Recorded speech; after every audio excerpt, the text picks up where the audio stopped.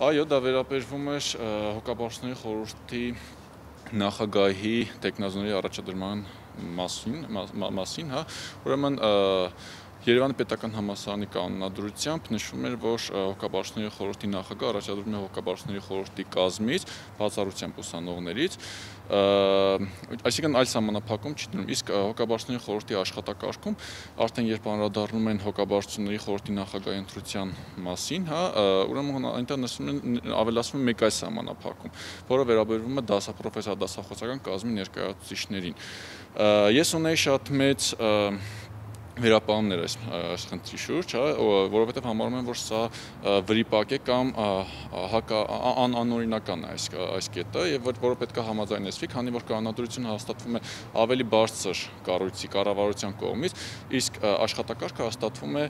հոգաբարձների խորհրդի կողմից, ուստի տրամաբանական է, որ կանոնադրությունն ավելի մեծ իրավական կշիռ եւ հակասությունների դեպքում,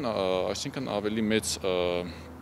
մեծ կշիռ կշիռ ունեցող օրենքն է, օրենքի նորմն է կիրառվում։ Սակայն ցավոք սրտի այդ կարծիքը խորհրդի անդամների հավանության չարժանացավ, թեպետ եւ ես կարծում եմ, որ սա այստեղ ավելի շատ ոչ թե հավանության արժանանալու խնդիրներ, այլ զուտ պետք է առաջնորդվենք օրենքով, օրենքի տրամաբանությամբ, օրենքի ոգով եւ պետք է մենք մենք ընտրությունն հասկացնենք այն սկզբունքներով, ինչը որ նշված էր կանոնադրությամբ։ Այստեղ լսեցինք հիմնավորում նաեւ հոգաբարձների խորհրդի նախագահ Գևորգ Մուրադյանի կողմից հիմնավորվեց, որ այստեղ կարող է լինել շահերի բախում, բայց նույն շահերի բախումը կարող ենք մենք տեսնել նաև ժամավճարով աշխատող ոչ հաստիկային ցուցակով աշխատող դասախոսի պարագայում, կա պրոֆեսոր դասախոս նույն Գևորգ Մուրադյանով հիմա ընտրվել հոգաբարձների խորհրդի նախագահ, նա էլ համասարանում ժամեր ունի եւ նույն հաջողությամբ կարող են նայ շահերի բախումը բախման առաջ կանգնել։ Որքանով եք օբյեկտիվ համարում եւ արդյոք կարծում եք նախարարության կողմից օժանդակություն կար։ Միանշանակ, միանշանակ նախարարության պետության կողմից օժանդակություն կար եւ համասարանական Թերևս իմ շրջապատից ես պետքա փաստեմ, որ համասարանում ունեցած իմ շրջապատում շատ քիչ մարդիկ կան, ովքեր բավարար են գնահատում Գևորգ Մուրադյանի վերջին տարի ու կես կես ֆանտաստիկում կատարած գործողությունները որպես հոգաբարձությունների խորհրդի նախագահ բազմատիվ խոստումներ, բազմատիվ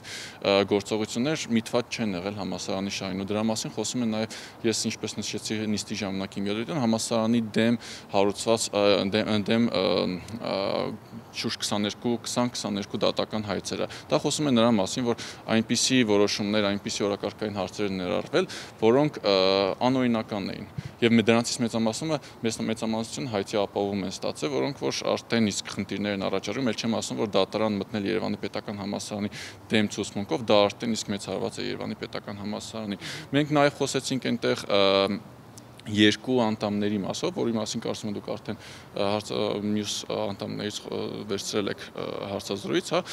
բայց ես ուզում եմ այս մասով էլ անդրադառնալ, որ մենք ունենք նաև էլի լուրջ, մեծ շատ լուրջ խնդիր, որ հետակայում էլի կանգնենք այդ նույն հարցով դատարանի առաջ եւ հերթական անգամ կարող է կասկածի տակ դրվել հակապարծների խորհրդի ընդունած որոշումների օրինականությունը, իրավաչափությունը։ Այսպես չպետք է լինի։ Մենք այստեղ շատ հարցերի շուրջ իրավաչափ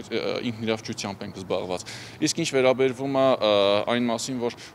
նրան թե հոգաբար Գևորգ Մուրատյանը միայն կառավարության որոշումը կառավարության հավանությամբ ընտրվեց ես իմ կարծիքով թեպետ եւ համասարանականներ էլ քվյարկող եղան բայց իմ համոզմամբ այո նա ընտրվեց կառավարության որ ինչ հարց լուծի պարոն նա նշանակվեց ինչու ինչ հարց պետք է լուծի տեսեք, եթե մենք նայենք վերջին ընթացքը, վերջին 1.5 տարվա ընթացքը, այս Գևորգ Մուրադյանի առաջ օկաբարձների խորհուրդ խորհրդի օրակարգ առաջադրված հարցերը ոչ թե բույի շահից են բռնում, այլ չէ մասի նախարարության, այլ նեղ կրթության գիտության նախարար Արայիկ Հարությունյանի նեղ քաղաքական շահերից էին բխում։ Ոչ թե նախարարության, այլ նախարարի, որովհետև նախարարությունում ես գիտեմ, որ բազմատիվ լուրջ գործողություններ ու լուրջ մարդկանց կողմից, հա, գիտակ մարդկանց կողմից այդ ամեն ճարվում, բայց չգիտես ինչու որոշ դեպքերում նաև ոչ հավաստի, որոշ դեպքերում հավաստի աղբյուրներից ես տեղյակ եմ, որ կրթության գիտության նախարարն ունի այստեղ անձնական ամբիցիաներ, որոնք բավարարվում են որոշ այլ մարդկանց ձեռքերով։ Ես եւ եւ դա ես տեսնում եմ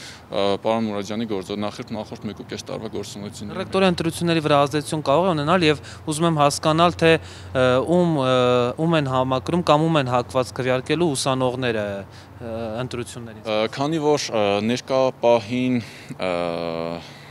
դերևս հաստատված չի նախորդ մրցույթի արդյունքները, ես զերծ կմնամ ուսանողների նախարարասարակ բոլոր ուսանողների անունից չեմ կարող խոսել, հա, իմ անձնական կարծիքը կառամակարամ առայժմ ասեմ, որովհետև նախ մենք հանդիպում չենք հասցրել ունենալ բոլոր տեխնազուների հետ, ոչ մեկի հետ համասարանի Երևանի պետական համասարանի ռեկտորի ոչ մի տեխնազուի հետ հանդիպում չենք ունեցել, Իջևանի մասնաճյուղի հետ հանդիպում ունեցել ենք, ու քանի որ նաև հիմա քննարկվում է թե պետք է հաստատեն նոր մրցույթ հայտարարեն, դրա համար ներողություն կխնդրեմ ձեր հարցին։ Նման հարց էլ է քննարկվել նոր մրցույթ հայտարարելու հարց է քննարկվել։ Այո, քանի որ մրցույթ հայտարարել նախորդ խորհրդի կազմը եւ նրան, այսպես ասած, բախ չվիճակվեց ընտրությունը կազմակերպել,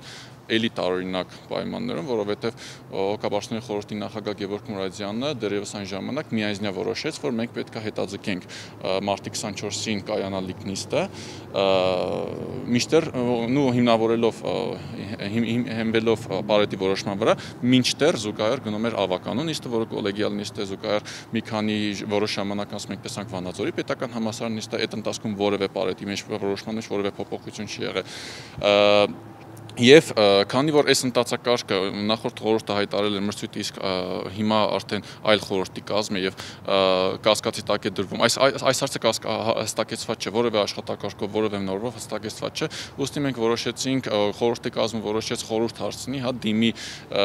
հարցում ուղարկի արտադրության նախարարություն եւ Երևանի պետական համալսարանի իրավաբանության ֆակուլտետ որպիսի կարծիք կարծիք ստանա թե ի վերջո որն է ավելի օրինական հակառակ դեպքում մենք կարող է օրինականության խնդիր ունենալով առաջ հետագայում ընտրված ռեկտորին դնենք ճնշումների հնարավոր ճնշումների ռիսկերի տակ, հա, որ ցանկացած մարդ, ով կընտրվեր ռեկտոր, ցանկացած տեխնազով կընտրվեր ռեկտոր, իրեն կարող է իշխանությունների կողմից եւ ոչ միայն իշխանությունների կողմից ցանկացած բայ ճնշում իր վրա ճնշում գործադրեն ելնելով այս հիմքից, հա, այս հակամանկից, այո։ Շնորհակալ եմ։ Պարոն, մի հարցել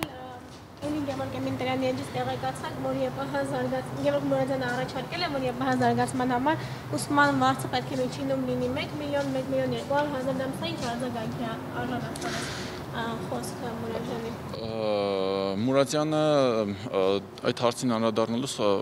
ընդհանուր կոնտեքստը հետեւյալն էր, որ համասարանի սեփակիչ ծախսերը սպանելու, հա, բավարարելու համար եւ առաջընթաց գրանցելու համար հարկավոր է որպեսի եթե միայն հիմնվի ուսանողների վարձերի վրա պետք է այդքան լինի բնականաբար դե իմ կողմից դա անկալելի չի որովհետեւ ես ունեմ վերոշակի վերապահումներ նաեւ ներկա պահին երբ որ այս կիսամյակից սկսած ուսանողները պետք է համատաբար ավելի բարձր